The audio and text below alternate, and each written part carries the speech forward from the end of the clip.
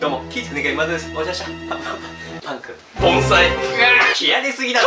というわけでですね今回マズラビデオ都市伝説シリーズでございます。失敗。というわけでですね令和のミスター都市伝説ミスター関を呼んでおります。うわー。うわー。うわー。すげえいやーミスター関生え際絵師にハゲだろそれ。今回の都市伝説は知能も非常に高いとされる生命体チンパンジー。そのチンパンジーを人間の子供と一緒に育てる人体実験が行われていたのね。というわけでですね今回その人体実験について触れていきたいと思い！ますアメリカに住む比較心理学者のウィンスロップ・ケロックとその妻のルエラには実母である生後10ヶ月のドナルドという赤子がいたのねそして1930年代に生後7ヶ月のメスのチンパンジーグアを養子に迎え実の子であるドナルドと一緒にチンパンジーをより人間に近づけることを目的とし人間として扱い育てるという実験を行ったのよ。この実験を行うことにした動機は新聞に投稿された狼少女の記事なのではないかとされてるのね。それは東インドの洞窟で狼と育った女の子2人が発見されその女の子たちは四足歩行し食事をしていたけれどもその姿はまさに狼にそっくりだったというものなのよ。この女の子たちはその後救助され教育を受けた結果二足歩行できるようになったものの夜になると相変わらず狼のように泣き叫んでいたというのね昔さヒューマンジーってさチンパンジーと人間のハイブリッドみたいなのが作られたって言われるでしょ、あれ遺伝子解析した結果100%チンパンジー。だった面白すぎだ そしてケロック博士は彼女たちのこのような行動を知能の低さではなく幼少期の環境によるものだと主張しそれを証明すべくこの実験を行ったのね環境のせいにすんな。環境のせいだろ そしてケロック夫妻は9ヶ月間2人を兄弟として育てチンパンジーと人間の子供の成長を総合的に記録していったのよ。日常生活では2人とも子供のように話しかけ同じようなベッドで寝て同じようなおもちゃを与え食事や服の着せ方罰の与え方も同様に差がないように接したのね。罰の与え方ってのは電気ショック。拷問じゃねえか。そしてチンパンジーのグアは人間の環境にあっさりと適応し時には人間のドナルドよりも賢かったというのよ。そして1歳前後になるとコップやスプーンを使うなどの課題ではグアがドナルドよりも先行していたのね。アフリカ人になりそうだね。差別だろ。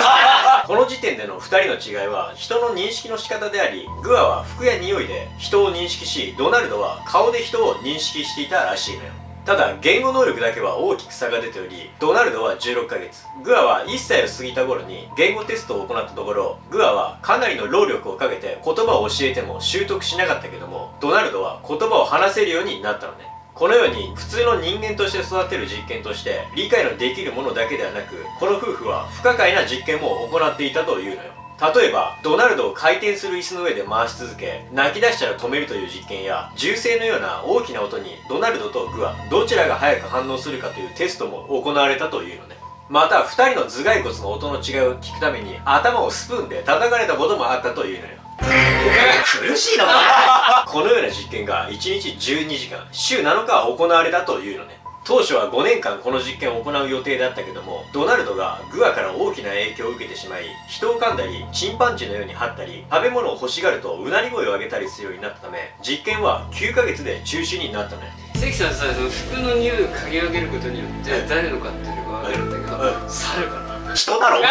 そしてドナルドはグアよりも真似ることがうまくできたためこのような結果になってしまったと考えられる。のね当初の目的であったチンパンジーを人間化することはできなかったけども逆に人間は簡単にチンパンジー化してしまうことが分かったのよ。その後グアはフロリダのロバート・ヤーキーズの霊長類センターに戻されたけどもうまく馴染めずにケロック家を出てから1年足らずで3歳で亡くなったのね。あんね殺してやろうかそしてドナルドは言語能力が急激に伸び後にハーバード大学医学部に進学し精神科医とまで上り詰めたのよしかし彼はケロック夫妻が死去してから1年後に43歳で自ら命を絶ったのね。ドナルドの息子はお父さんの自殺は幼少期の実験のせいだと確信しているけども自殺に幼少期の実験が影響してるかは分かってないの。よこれチンパンジーが天国でねこいつは俺が育てたって言ってるから。くだり。そして人間の次に知能が高い動物とされるチンパンジーは他にも様々な実験に用いられてきたのね実験結果で得られるものがあった反面この実験が死を選択させる引き金になってしまったのは事実なのよ。人の命に関わることをしてまで研究する必要が果たしてあるのかということなのね。志村けんすごいな。実験だったな